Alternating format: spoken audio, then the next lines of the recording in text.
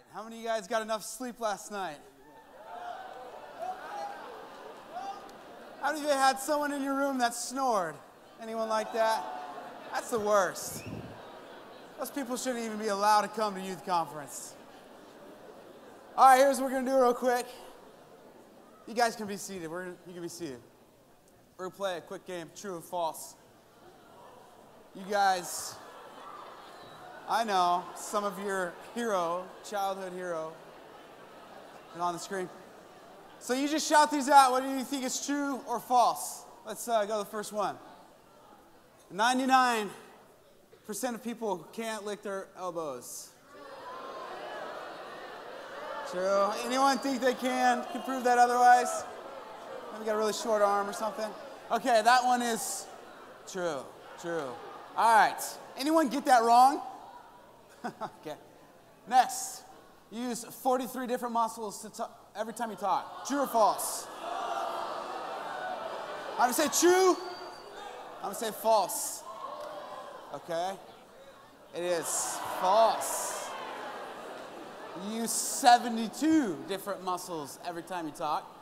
All right, next one. A baby porcupine is called a porkler. You to think about this. I'm gonna say true. I'm gonna say false.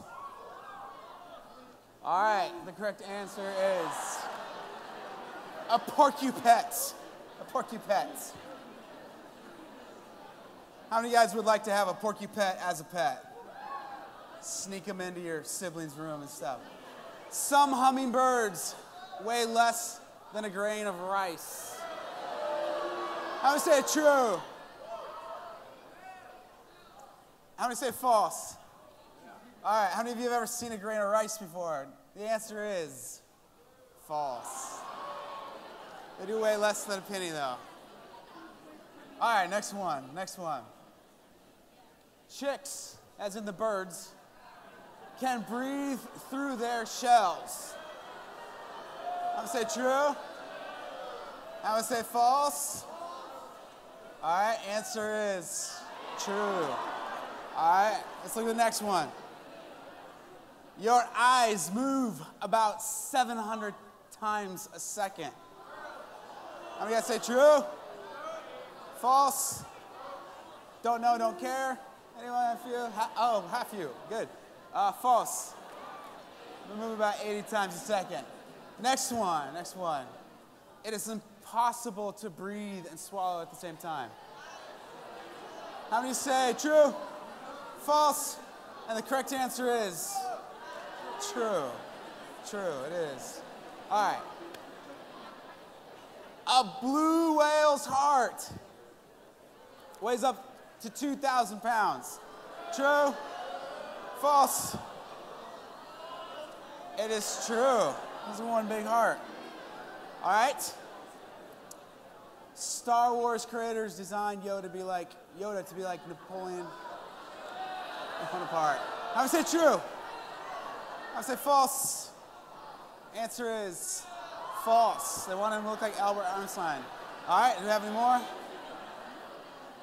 I think this is the last one. Your fingernails take eight months to grow from base to tip. True? False? Answer is false.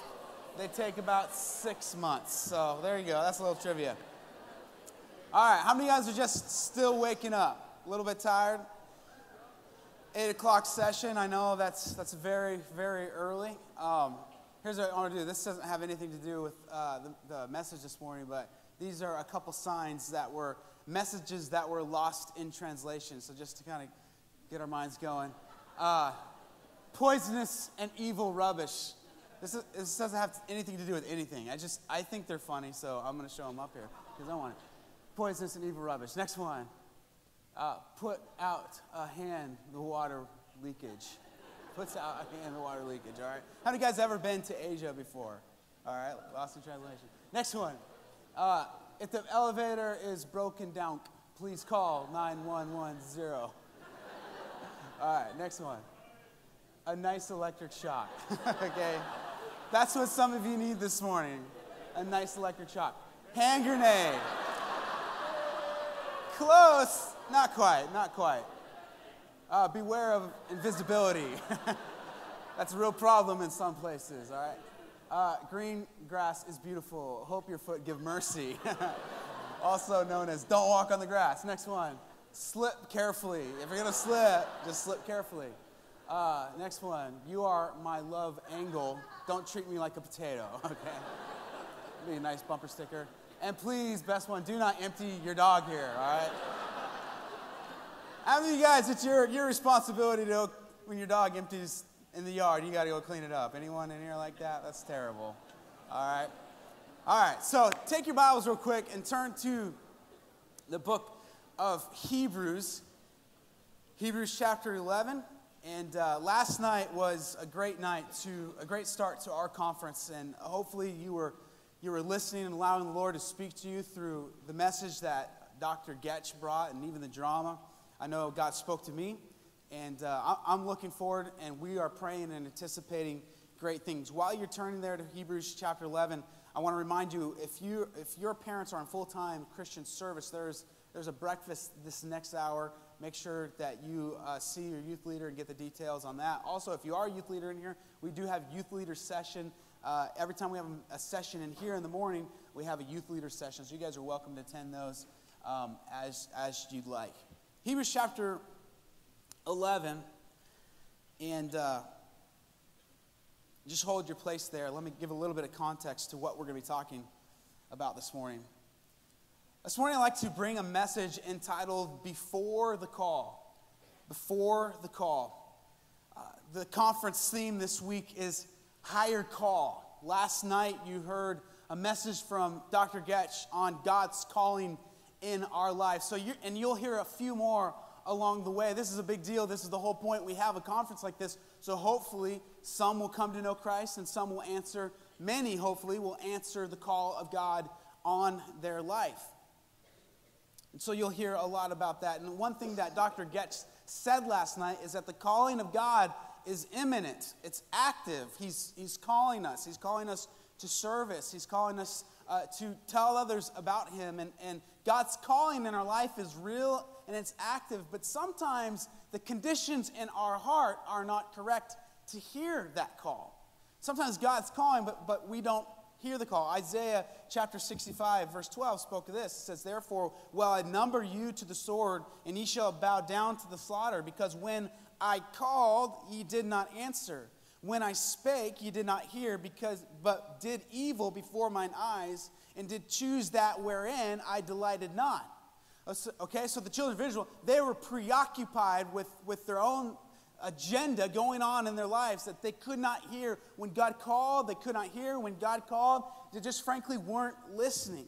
And so we're going to talk this morning about uh, before the call, what conditions need to be right before the call. And to do that, we're going to look at the life of Moses. Now, Moses had an incredible call. If you go study the call of Moses, he had what we call the burning bush experience. Uh, an awesome phenomenon where God came and engulfed the bush, but it wasn't consumed, and he spoke to Moses. Even if you're not very familiar or haven't been to church uh, maybe your whole life, you've probably heard the story of Moses and the burning bush. And we think of that moment, man, sometimes we want moments like that where it's just such strong clarity that we know exactly what God wants us to do. But then oftentimes the reality is God is trying to speak to us, and we necessarily aren't listening. And so, what we're going to look at in the next few verses here in Hebrews chapter 11 are some things that Moses did right before that burning bush experience before that call came in his life. So look at verse number 24, Hebrews chapter 11. It says this By faith, Moses, when he was come to years, refused to be called the son of Pharaoh's daughter, choosing rather to suffer affliction with the people of God than to enjoy the pleasures of sin for a season, esteeming the reproach of Christ greater riches than the treasures in Egypt for he had re- respect unto the recompense of the reward. By faith he forsook Egypt, not fearing the wrath of the king, for he endured as seeing him who is invisible. Let's pray. Our Heavenly Father, God, we thank you for this conference where we can come and open your word and prayerfully draw closer to you through something that we read and something that we study. I pray that you would do just that this morning uh, in this session. I know it's early, God. I pray that you would uh, keep uh, the teens in this room attentive. And, and Lord, I pray that you would speak and, and prayerfully help them as well. And pray these things in Jesus' name. Amen. Well, Dr. Goetsch said this as well last night. Uh, the, the, before you, you uh, focus on your calling, more important than that is, is the question Am I a Christian? Am I a believer? And the Bible talks that when we receive mercy, this is in Second Corinthians uh, chapter number 4, when we receive mercy, we also receive a ministry. So I really strongly believe that if you are a child of God, God is calling you to be set apart from the world uh, for a specific service. Now, I know sometimes the confusion comes in when we try to understand well, what is God's specific call for my life? And sometimes we understand generally that God calls us as Christians to be separate, to be distinct, to tell others about Christ. But then sometimes, uh, to be honest, we can be confused in God's specific calling. How many of you guys have ever experienced that confusion? I'm not exactly sure what God would want me to do at some point. Maybe I've figured it out by now, or I'm sure of it now, but you guys know what I'm talking about. Sometimes, and then it can be uh, more confusion. Who am I going to marry? Do I, am I going to marry the right person? I don't want to marry the wrong person because then it's a whole chain reaction uh, of, of bad things are going to happen in my life. And so God's call, it's, it's something to be taken serious, but, but, but sometimes uh, as we seek to understand God's call, man, there's, there's aspects of it that can be confusing if our hearts are not right. And so when we receive mercy, when we ex- receive Christ, we are, we're given a call. But then, like I said, there are times where, where we, there are specific answers. We're trying to understand, God, what would you have for me? And I'll tell you this the most important thing is this that you are surrendered to do whatever surrendered to do and willing to do whatever God would have for your life. But I want you, I want you uh, to carefully take some notes this morning and ask yourself these four questions that we'll study together. These are four questions to settle in your heart. These are four questions that Moses settled in his heart before the call came. And so the first question is this Will I accept my identity as a believer? Will I accept my identity as a believer, okay? So if you're taking notes, write that down. And if you want to, underline or circle the word identity. Moses, if you're familiar with the story of Moses, Moses grew up as a child. At the time of his birth, it was, it was uh, uh, some tragic events had taken place, and uh, the king, Pharaoh, was trying to control the population of the Jews who were in captivity. They were slaves, and so there was a decree that went out that, that uh, many of the children, if they were male, were to be killed. And so God worked in a, in a, a special way to spare uh, Moses' life, and Moses found himself in the, in, the, in the throne room of the Pharaoh. He found himself growing up in Pharaoh's, Pharaoh's household. Pharaoh had, or Moses had, from this time forward, a luxurious and lavish and comfortable upbringing. The Bible tells us uh, that, that, let's read verse number 24. Uh, it says this when he came to years, uh, or verse number 23, but, but by faith, when he was born, he was hid three months of his parents because they saw he was a proper child and were not afraid of the king's commandment. So his parents spare his life, and from that point forward, Moses grew up in luxury. He had everything he could have ever wanted. Uh, he had all the popularity, all the friendships, everything he could have ever desired growing up in Egypt there. Egypt at the time, it was the center of the world. It was the most sophisticated part of the world. It was where all the wealth was. It was where all the, the power was. It was where the government was. And so Moses finds himself growing up in the king's house as a prince in Egypt and got to experience many of these luxuries. I, I think of uh, the king, uh, the, the, the, King Tut, and how in 1922, I believe it was, they discovered King Tut's uh, burial. And, and, and, and as they opened up his, his burial, they found all this, this gold. And the estimated value today in just the raw materials is, is over $750 million that was buried with this king. And you got to understand this. Moses lived within about 100 years of King Tut, and he, he lived in that luxury, and he had all the wealth, and he had all the money, and he had a very lavish upbringing. But Acts chapter 7, verse number 22, tells us this. He says, And Moses was learned in all the wisdom of the Egyptians and was mighty in words and deeds. What does that mean? It means that Moses was educated in the best schools. He was popular. He had powerful. It says that he had power in words and in deeds, meaning this he could say something and it would be enacted as law. He had power in words and in deeds. He was educated in the best school. This was the guy that seemed to have it all, and yet something was missing. You know? Hardly a week goes by where you don't turn on the television and you hear of a celebrity that would seemingly from the outside have everything, only to see that the reality is that their life is falling apart from the inside out because in what seemingly looks like everything, really, in reality, apart from Christ, is nothing. And so here Moses was, and he's growing up in this environment where you could have everything and anything at your disposal. But God began to do something in his heart. Acts 7:25 says this: uh, when and when he was full, uh, full 40 years old, it came into his heart to visit his brethren, the children of Israel. And seeing one of them suffer wrong, he defended them and avenged him that was oppressed and smote the Egyptian, which was, was definitely wrong to do, acting outside of God's will. It says this though, for he supposed his brethren would have understood how that God by his hand would deliver them, but they understood not. So Moses is approaching about 40 years of age, and God is starting to stir in his heart. He's starting to see some things, he's starting to connect some dots. He's starting to see that everything that looks so lavish and luxurious from the outside world was really quite empty to him. He was experiencing that emptiness and he was searching and he was trying to connect the dots and, and figure out what God. And he even knew something and he was surprised that his brother didn't know. The verse tells us that God stirred in his heart and he was faced with a decision Who do I belong to? Who will I associate with? And his answer is found in verse number 24. Look at verse number 24. It says this By faith, Moses, when he was come to years, refused to be called the son of Pharaoh's daughter. Moses settled his identity. Will you accept your identity as a believer?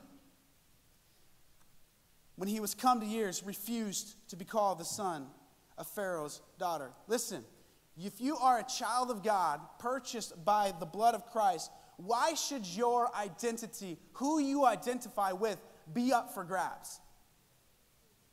Why is that negotiable? When you stop and think of what Christ did for us on the cross and how he purchased us and what he's given to us, why do we have to think twice concerning who we identify with? And why are we so easily drawn to identify with the world? listen, our, our issues with identity are based in acceptance. And like Dr. Goetsch talked about last night, we want to be accepted. And he even listened to music that he didn't necessarily like because he wanted to be acceptance, because he wanted to project an identity and he wanted others to like him. Listen, now is the time as a seventh grader all the way up through 12th graders to understand who you are in Christ. And Ephesians chapter 1 is a great help in that to understand who you are in Christ. Listen, as, as a child of God in Christ, I am an enemy of the devil. I am the salt of the earth. I am the light of the world. I am a child of God. I am a part of the true vine. I am Christ's friend. I am chosen and appointed by Christ to bear his fruit. I am enslaved to God. I am a slave of righteousness. I am a son of God. God is my spiritual father. I am joint heirs with Christ. I'm a temple, the dwelling place of God. Are you guys awake this morning? That is who we are in Christ. That is what Christ has given us. And listen, we are accepted in the beloved, the Bible tells us. We are accepted by Christ. And we ought to, as believers, identify with, with Christ. We ought not be shy concerning the fact of who we are and what we believe and where we belong and how we behave and how we dress and how we identify ourselves with our Savior. Why is that so hard to do? Why is that such a struggle? We want to be popular. We want the acceptance. We want the identity. Moses settled his identity. This pivotal moment in his life, around 40 years of, old, of age, he had to decide Am I going to be a son of the true king, or am I going to be a son of Pharaoh's daughter? And, and he had to stop and evaluate because that was a tough decision to make. Am I going to identify with a bunch of slaves? Am I going to identify with this wealth and pagan lifestyle? And he had to settle his identity. And he made the correct decision. When he was come to years, refused to be called the son of Pharaoh's daughter. That identity meant he had to accept certain things and he had to reject certain things. And if you are going to accept your identity as a child of God, there are certain things that you are going to have to, as Moses did, refuse in your life. And there are other things that you're going to have to accept and hold to and cling to as a believer. Have you settled your identity? Listen, I'm talking about God's call here. So if there's any little bit of confusion, if you're not sure, is call, God calling or is God not calling? Listen, step back and settle your identity. Am I a child of God? Am, do I know who I am in Christ? So the first question is Will I accept my identity as a believer? The second question that Moses had to answer, and, and I want you to ponder this morning, is this Will I establish my values based on God's word? Say this word with me values. Say it louder values. Let's say the first word identity. So he had to know what his identity was, and then he had to establish his values, what things were valuable to him. I heard I read the story earlier this year about a lady who lived in Israel. She was cleaning out her mom's apartment and actually renovating her mom's apartment. And one of the things she did for her mother was buy her a new bed complete with mattress and everything. When her mom came home, she was, she was hysterical. She was upset. She was beside herself. Apparently, she had hidden her life savings of over $1 million in a mattress that her daughter threw out in a surprise renovation. What a bummer. that would, I'd be upset if someone did that. We look at that and we say, man, that's a lot of money. That's a lot of value. I, I think we can all stop and say, man, that is a lot of value. Uh, that is certainly valuable. We would consider that valuable. But what would it take? What would it take for you to sell out on God. Moses, as we mentioned, had all the riches at his fingertips. And the Bible tells us very clearly here in this verse that he, he valued those far less than he valued his walk with God. Moses was uh, faced with this question in a very real way. Uh, verses 25 to 26 speak of the pleasures of sin and the riches of Egypt, and Moses had unlimited, unfiltered access to both. As much money as he could have ever needed to have around, a, new opportunity to sin and party, party around every corner without any supervision. He was his own man at this point in time. But he had to answer this question What will I value? What will I value? Verse number 25 gives us the answer. Choosing rather to suffer affliction with the people of God than to enjoy the pleasures of sin for a season. To Moses, it was better to suffer and be in the will of God than to experience pleasure outside of God's will. And the pleasure that you do experience if you choose to pursue pleasure outside of God's will, the Bible tells us is very short lived is for a season, it's temporary. So Moses saw both extremes. He saw the extreme wealth and he saw the extreme lavish lifestyle. But I'm going to tell you this he saw the extreme sin as well. And along with that, he saw extreme emptiness. And he had to step back and say, What will I value? Can I tell you, our values as a society are completely upside down. As a whole, completely uh, opposed to what God values, to biblical values. And listen, now is the time as a high schooler, as a junior high, to dive into God's Word and see what God has to say about certain matters and issues of life and understand what you value. Listen, if you try to figure that out your first year at a freshman college somewhere at a secular university, it's too late. If you try to figure out that first day of your job when you're, when you're offered something or, a joke is told or something is suggested, it's too late then. Will you establish your values on God's word? Moses established his values. Verse number 26 says this esteeming That means with careful thought, meaning he evaluated his circumstance, esteeming the reproach, the ridicule, the persecution. And oftentimes we're like, yeah, I would, but then this would happen. Listen, Moses, esteeming the reproach of Christ, greater riches than the treasures in Egypt, for he had respect or he had value unto the recompense of the reward. So Moses stepped back and says, Listen, suffering with Christ, the one who I, I, whom I identify with, suffering with Christ, my Creator, is more value, valuable to me than anything that the world has to, op, to offer. Will I establish my values based on God's Word? I think we're in bad shape concerning our generation. Our generation. I use that term lightly because I know there's an age gap between me and you, but I'm, I'm similar, I'm more similar to you in age than some of the other speakers, so I'll go ahead and use it. Let's talk about our generation. Can I tell you what we value? We value things that are just meaningless.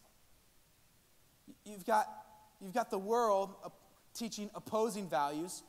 You go to your school, you believe that God created the earth, you believe that marriage is between man and a woman, you'll be taught otherwise at your school.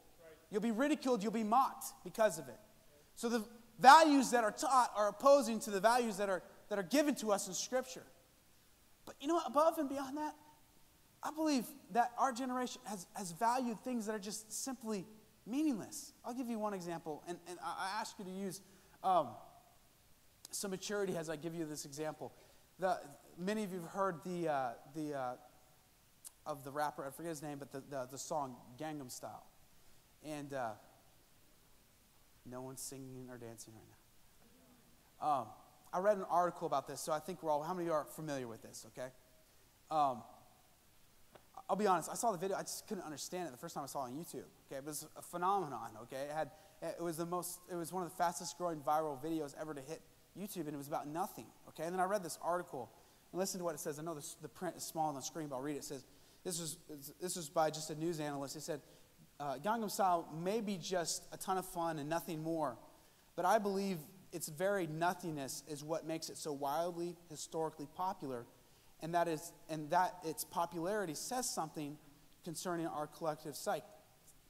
If if blues and soul spoke uh, to people in pain, struggling to find love and freedom, if rock and roll spoke, and this is not a Christian by the way, if rock and roll spoke to a generation ready for rebellion, then Gangnam Style speaks to a generation ready for nothing. He says, I know, I know. People will say I'm making too much of a hit song. People will say it no- means nothing, but uh, that this will have been watched a billion times by Christmas. That's the point. It means exactly nothing and is the most popular song in history. Let, let me tell you this we're in bad shape when we value nothingness. And I'm telling you, some teens and our youth groups represented here today get more excited about a song about nothing than they do about something substantive from God's word.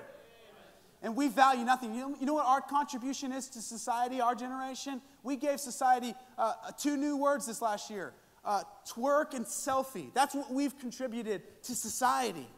Okay? And that's our value. We're not, those are the things we value. Those are the things that we find as interesting. And I'm telling you guys, uh, some in this room potentially are in very bad shape because their society, their, their values are, are opposed to the values given in God's word. They're completely uh, contradictory to God's word, and their value nothing, meaningless. Listen, this conference is about a higher call. It's not about just meaningless fun. You can have meaningless fun at your home with your friends. This conference is about a higher call. There's, there's a lot more to life than just meaningless nonsense. Will you answer the higher call. And to do that, you must value the things that God values. Psalms 119, 37 says this Turn away mine eyes from beholding vanity and quicken thou me in the way. May that be our prayer this morning. God, would you turn my eyes away from the things that are worthless? That is what a, com- a, conference like this is all about. God, would you give me clarity? I want to hear your call, and I've heard others say, I want to hear God's call would you pray that God would give you clarity? But part of the reason that you may be potentially not hearing God's call is because your hearts are focused on what the Bible said is vanity. It's just meaningless, empty noise. And would you pray this morning and throughout the conference, God, would you help turn my heart from things that are vain, things that are empty, things that are meaningless, towards things that are eternal, uh, eternal and things that are truly valuable? So, will I establish my values based on God's word? Thirdly, write this down. Will I act with courage when God leads? Will I act with courage with God when God leads? I believe one of the reasons that people tune out God is because they'll be afraid of what he'll say to them. I bet that happened last night, even, even during a message. You know, the games, I'm in tune, I'm engaged, uh, the drama, I'll pay attention for that. And then the message come, and I, I really do believe that there are some that just simply turn, turned it off in their minds. They turn down the volume because they're afraid of what God has to say. They're afraid of that total surrender and that complete trust. I read this, uh, the story, this is a year or so ago. I saw this on the news. This lady, her name was Laverne Everett. She's 80 years old, okay? And she decided on her 80th birthday that she wanted to go skydiving, okay? So she, she goes and uh, she signs up for the class, 80 years old, you know. I give her credit for, for, for, for doing that. But here's what happened next. She, right before, the moment before she uh, jumped out of the plane, man, she got cold feet and she didn't want to go. Well, the policies of the skydiving companies, you can't go up on the plane and not jump. Once you're in the plane, you're jumping, you're going. And literally what happened in this case, they start to push her out. But at 80 years old, she was a fighter, okay? She was not going out. She had a death grip on the door. You can watch this video on YouTube. She's got this death grip on the door, and she did not want to go. And they're pushing her, and they're pushing her. How many guys said, That's mean, you know, that's old lady. Let, let, her just go down. Well, they did not let her just go down, and they pushed her and pushed her. But, but in the struggle to get her out the door, many of her straps became untied and loose. So he's pushing her and pushing her, the skydiving instructor, and while she's, while she's fighting it, her straps to her parachute are becoming loose. And I think we have the next slide here. She literally is hanging by her knees, and the instructor is holding her arm and holding her knee, and she, she didn't make it. Just kidding, she was fine. But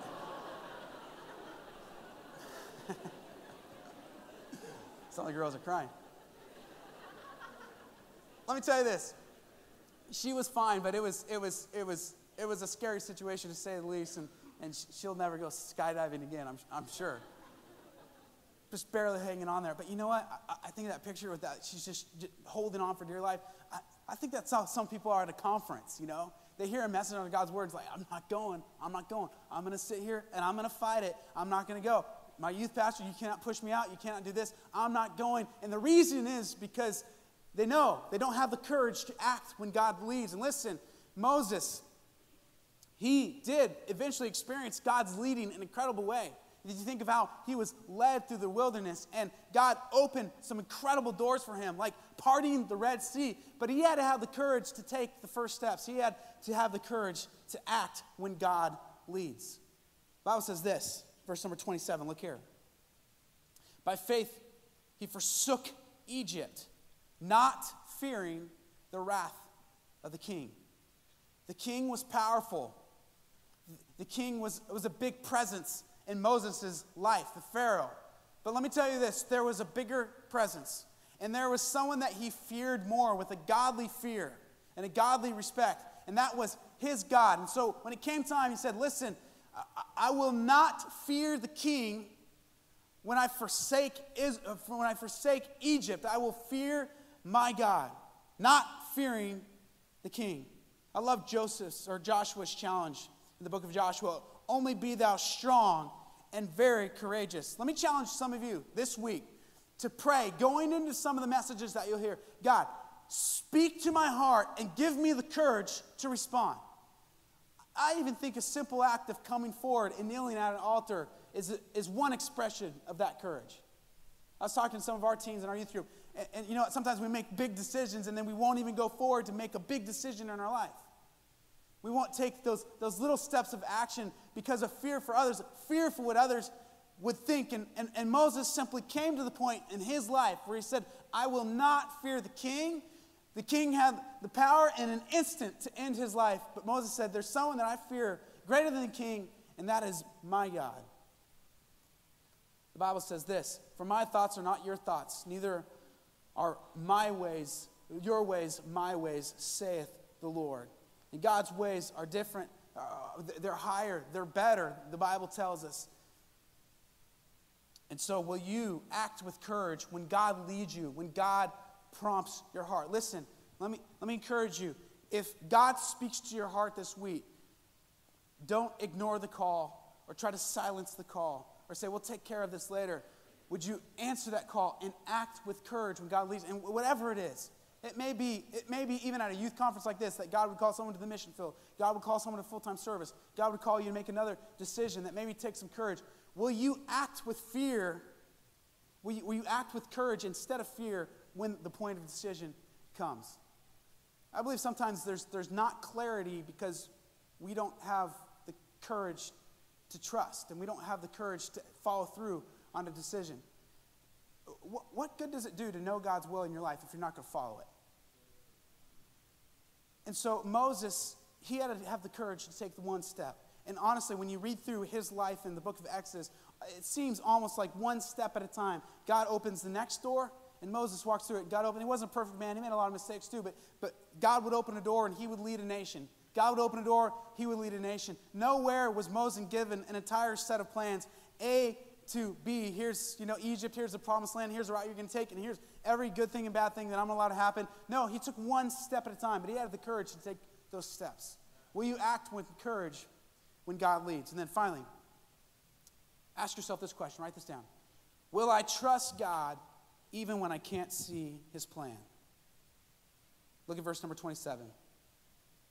By faith he forsook Egypt, not fearing the wrath of the king, for he endured and, and we, could, we could develop that if we had more time. But he, he was enduring, he had patience. But look at the last part of this verse. As seen him who is invisible. As seen him who is invisible. I love this verse the more I think about it. Because everything that Moses had experienced in Egypt was, was tangible. He could touch it, it was visible. You could see it. You could see the wealth. You could see the sin as well. But he could see it, it was tangible. But when it came time for Moses to trust, he decided to trust in the hand of an unseen God. He trusted what he hadn't seen more than what he had seen. And I believe this is where a lot of us, we, we, talk about God's will and, okay, my identity, my acceptance, I'm gonna, or my values, I'm going to understand that I'm accepted. I'm going I'm to establish my values. Uh, I'm going to act with courage. But then, and, and this is where decisions look great on paper, and they look great in a conference notebook. But will you trust God? Will you follow through as He leads, even when you don't know where He's taking you? Even when you don't know where this is going. This is a theme that is repeated throughout many stories in Scripture. I think of Abraham. God called him to offer his son Isaac, and he said, Get up and go. And when you get up and go, I'll tell you where you should go next. And that's often how God deals with us. But will I trust God even when I can't see his plan?